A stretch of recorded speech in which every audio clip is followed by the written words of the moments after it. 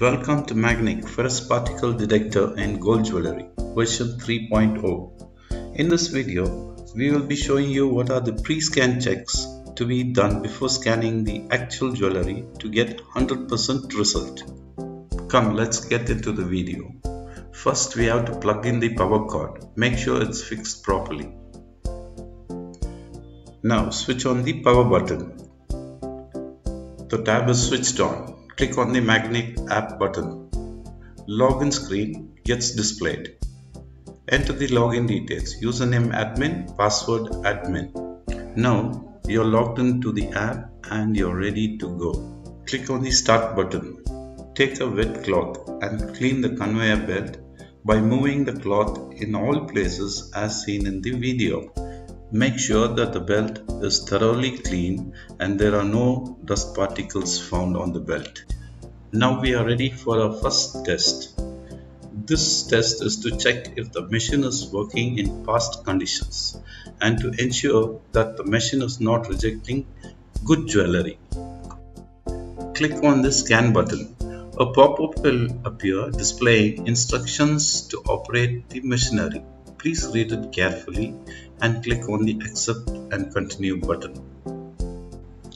Click the start button from the tab to check if the machine is working in past conditions and it is not rejecting the good jewelry. There is a simple test. Using a wooden piece, we are going to cut the laser light, a photo sensor which is placed here. Repeat the test for 10 times. The machine should pass the test for all 10 times.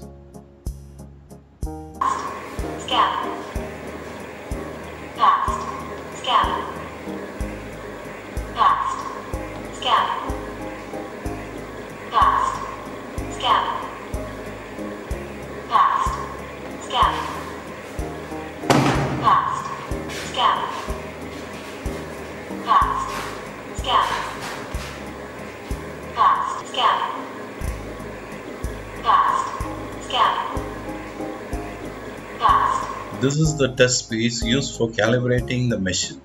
This test piece is delivered with Magnic machine for calibrating purpose.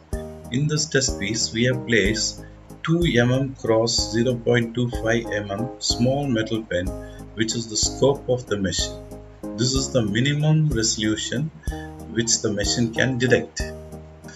We have placed this 2 mm cross 0.25 mm pin at the height of 1.5 centimeter.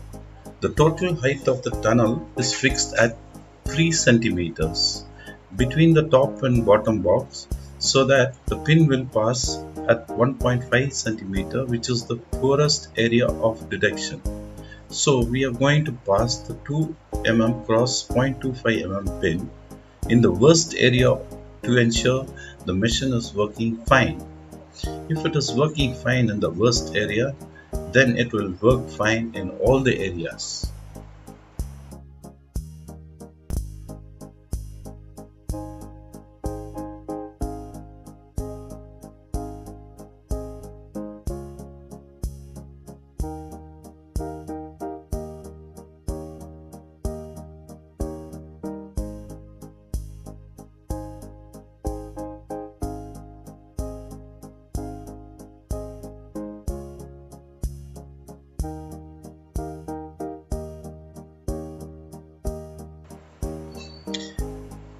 Do not carry or move mobile phones, cutting pliers, keychains closer to the machine while scanning the jewelry, else you are prone to get wrong detections.